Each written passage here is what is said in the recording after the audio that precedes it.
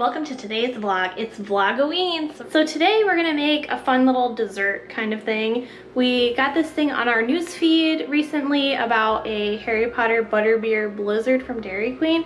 Um, we don't really go to Dairy Queen, so we thought we'd get the ingredients at the grocery store and make it ourselves at home and see how it turned out. I'm a huge Harry Potter fan and uh, Joe likes you know, snacks and milkshakes. So we're gonna see how this turns out at home. So we're gonna give it a go. A little copycat at home butterbeer blizzard. First off, we went to Publix. We grabbed some vanilla ice cream, some Butterfinger Bites, this little bag of Butterfinger Bites, and some butterscotch topping, and some heavy whipping cream. So first off, we're gonna start off, oh, and some vanilla extract. I'm gonna start off with the heavy cream. So we're gonna start off with our heavy cream. Just gonna pour some in the KitchenAid here. Eh, probably that's good. A little heavy cream. If we have leftovers, we can always stick it in the fridge for later. So next up, I'm just gonna put a dash of vanilla extract in there. Just a little splash. Oh, that's more than a little splash, but that's okay. Going. I'm gonna take the butterscotch and I've got a little like honey dipper here. I'm gonna put it in here and like splish it around the cups and see how that goes to make it a little artisanal. I mean, how this works out.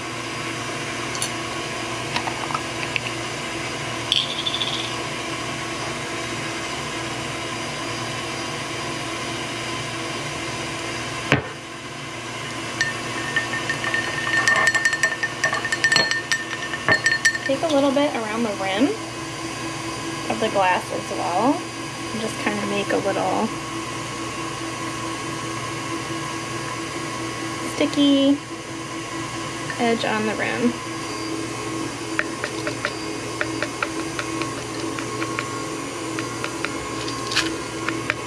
Alright, so we've got our rim of our glass ready. The cream is ready. Turn that off. Ready to go once we have the rest of it done. Got our Ninja here ready to go. I just grabbed some natural and artificial flavors. This is really healthy. Joe did not grab the, the good stuff. I'm just gonna chuck it into our blender here. I don't really know how much we need, so I'm just gonna put a whole bunch in.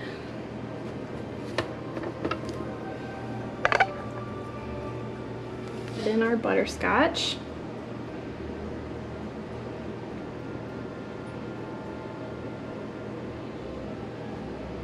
I don't know how much to add in, so we'll start there. Ooh, making a mess. All right, we got our Butterfinger bites.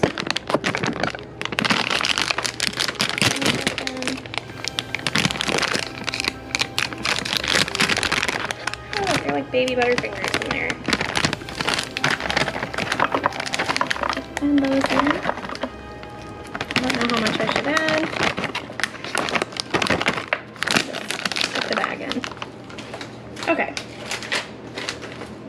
So it looks like quite the mess here. We're gonna see how this goes. This guy goes here. Okay.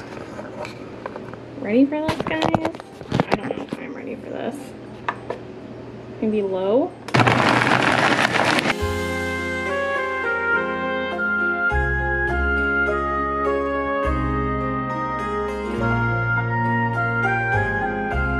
See what happened. Oh, look at that. That's pretty good looking, doesn't it?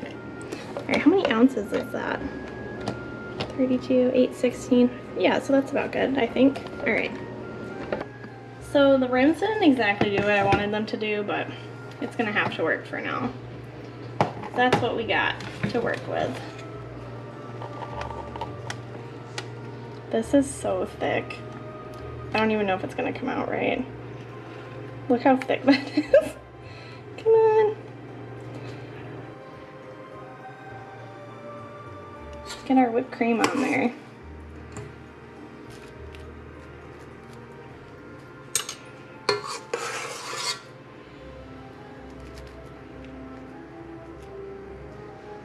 I could have probably made this like cuter using a piping bag, but really feeling like doing that today. We're just gonna plop some whipped cream on here. I think it looks more butterbeerish with the, the plops of whipped cream versus the, the other. Make it look really cute. Halloweeny. Look at that. So cute. Put a little Butterfinger bit on top. Here we go. All the butterscotch swirls that I put on the inside, because they looked kind of messy, but they look good once you put stuff in them.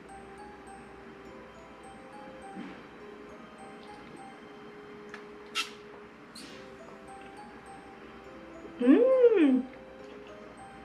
Wow, that's really sweet. It's good. I would definitely do this again, I think, for Harry Potter night. It's tasty. I definitely think we'd make that again. I think Joe's gonna really like it once he gets hopped out of the shower and gives it a try. All right, well that's it for now. Our little Harry Potter night is about to start. Um, yeah, that's it for this little copycat recipe. Hope you enjoyed it. It's definitely not healthy, but we're gonna enjoy it. A little indulgence never hurt, right? Bean's playing with his toy in the background. All right, everybody, we'll see you guys next time. Bye.